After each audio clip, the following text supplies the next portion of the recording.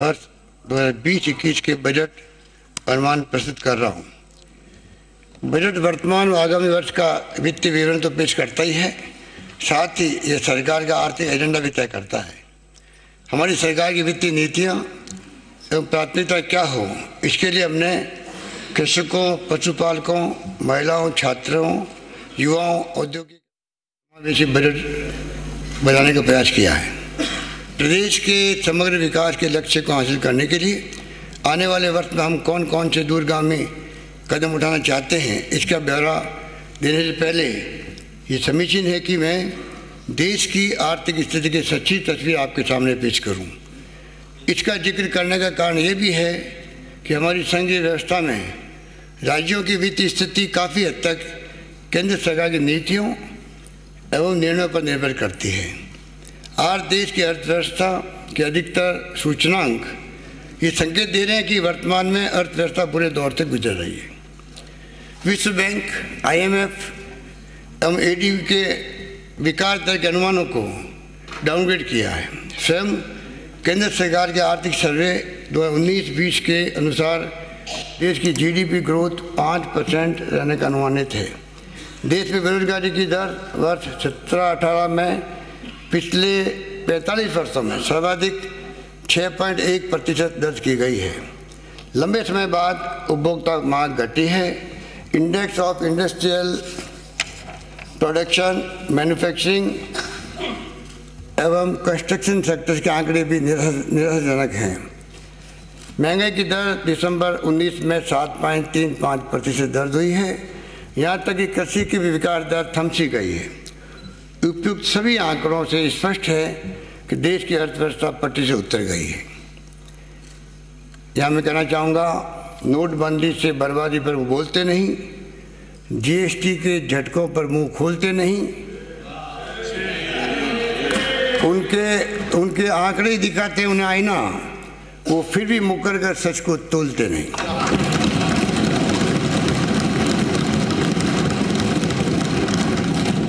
केंद्र सरकार की गलत नीतियों के कारण राजस्व में जो गिरावट आ रही है, उसके खामियाजे के रूप में हमारे प्रदेश को जो शेयर इन सेंट्रल टैक्स मिलता है, उसमें दस हज़ार तीन सौ बासठ करोड़ रुपए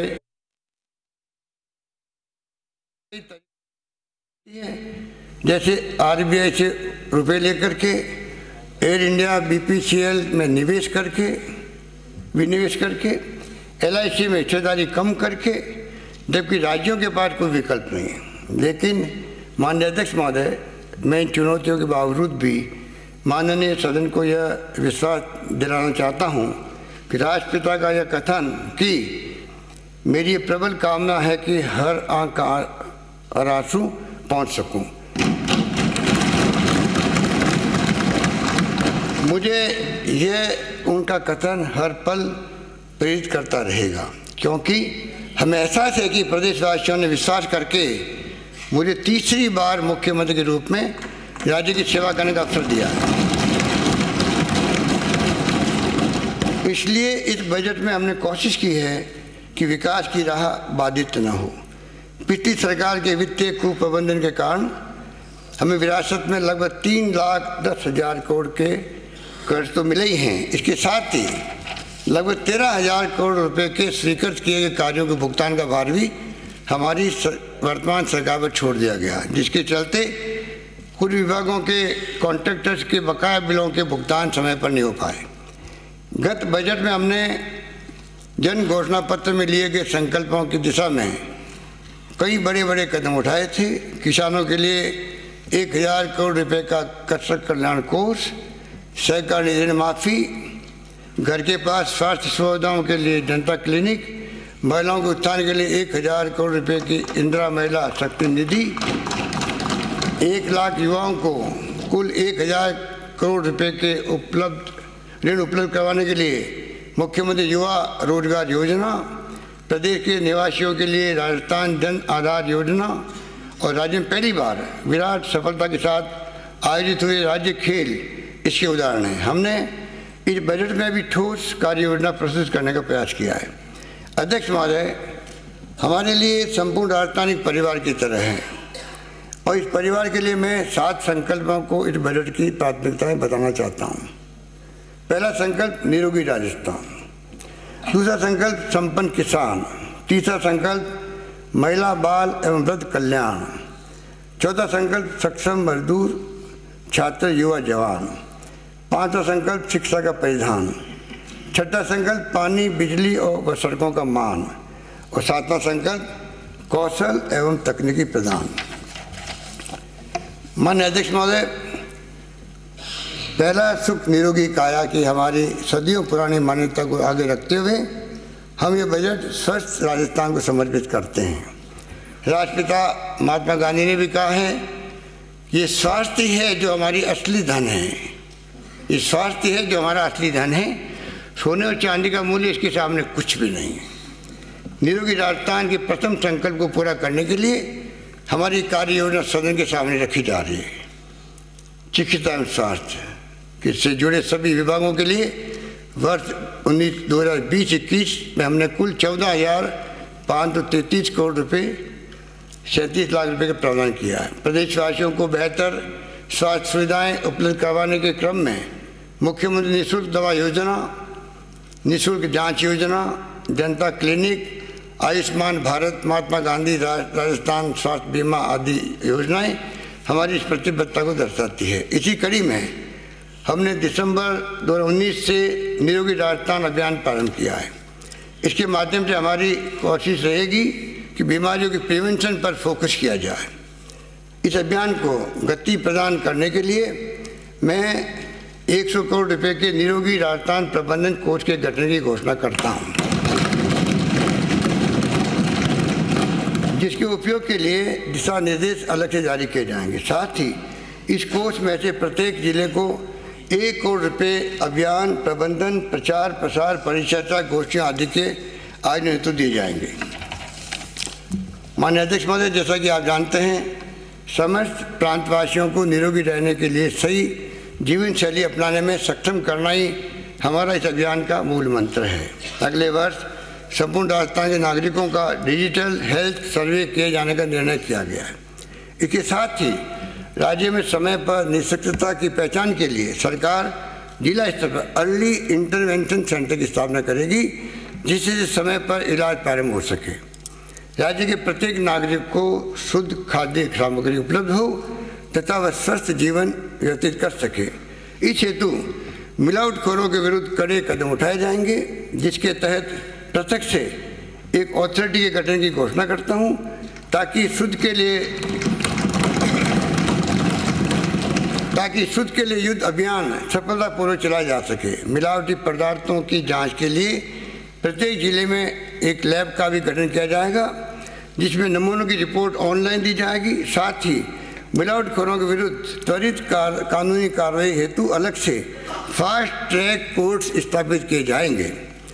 हमारे द्वारा प्रारंभ की गई निःशुल्क दवा योजना एवं निःशुल्क जाँच योजना ने देश भर में एक नया उदाहरण प्रस्तुत किया है जिसकी सराहना देश में नहीं बल्कि विदेशों में भी हुई है। प्रदेश के संपूर्ण चिकित्सा परिवार के लिए इस सम्मान की बात। इसके लिए मैं राज्य के सभी चिकित्सकों, नर्सिंग कर्मियों, फार्मिस्टों एवं संबंधित अधिकारियों, कर्मचारियों को बधाई देता हूँ। साथ ही आह्वान करता हूँ कि वे इस बजट के हमारे पहले संकल्प, निरोगी राजस्थान के सपने को साकार करने में अपना पूर्ण योगदान दें। पिपार सिटी व फरोजी के राजकीय अस्पताल को जिला चिकित्सालय का दर्जा दिया जाएगा। राजकीय चिकित्सालय ओशिया में mother and child care centre खोला जाएगा। साथ ही सांचो जिला जालोर, तारानगर, जिला चूरू, सोजत, जिला पाली लोहावट बालेश्वर, भोपालगढ़, जिला जोधपुर के राजकीय अस्पताल में ट्रॉमा सेंटर खोले जाएँगे। हाल ही में हमने मुख्यमंत्री निःशुल्क दवा योजना में कैंसर, किडनी एवं लीवर की दवाइयों को भी शामिल कर निःशुल्क दवाओं की संख्या सात सौ नौ कर दी है। राज्य में कैंसर की प्रभावी मॉनिटरिंग के लिए कैंसर रजिस्ट्री सिस्टम प्रारंभ किया जाएगा। इसमें राजकीय एवं निजी अस्पतालों में कैंसर के मरीजों का पंजीयन अनिवार्य होगा, जिससे भविष्य में कैंसर रोगियों को इलाज हेतु उचित मार्गदर्शन मिल सकेगा। राज्य में जहाँ भी पीपी मोड संभव होगा, वहाँ के जिला चिकित्सालय में एमआरआई सीटी स्कैन सुविधा उपलब्ध कराई जाएगी। इसके साथ ही जयपुर, जोधपुर, बीकानेर में कैंसर की जाँच हेतु पैट सीटी स्कैन मशीन उपलब्ध कराई जाएगी। राज्य के 150 चिकित्सा संस्थानों में dental chair with x ray machine की स्थापना की जाएगी। इसके संचालन के लिए प्रत्यक्ष गाइडलाइन जारी की जाएगी। प्रदेश में स्वास्थ्य सेवाओं के विस्तार के लिए नए सब सेंटर पीएससी सीएससी खोलने, अथवा इनके कम्युनिटी के लिए क्राइटेरिया तय किया जाएगा।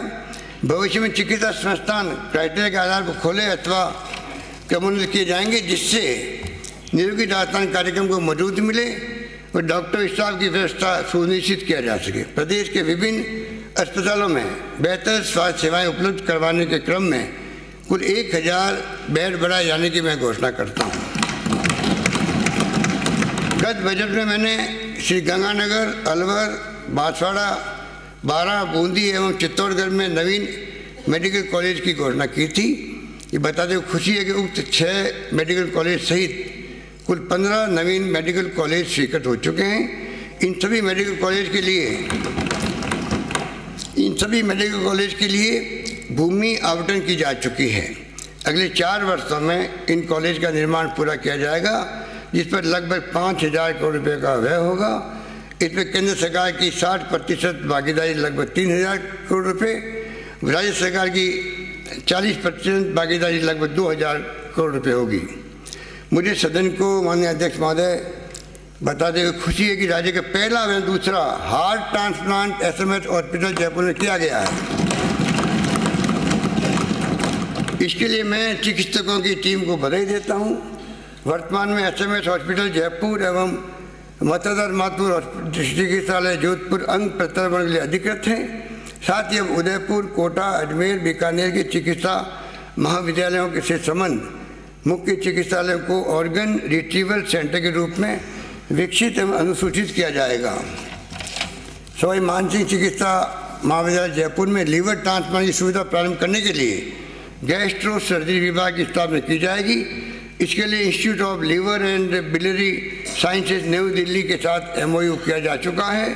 साथ ही आगामी वर्ष में यहाँ अंग प्रत्यारोपण विभाग भी प्रारंभ किया जाएगा। इसके लिए सर्जिकल गैस्ट्रोएंटोलॉजी के सहायक आचार्य के चार पद स्वीकृत किए गए।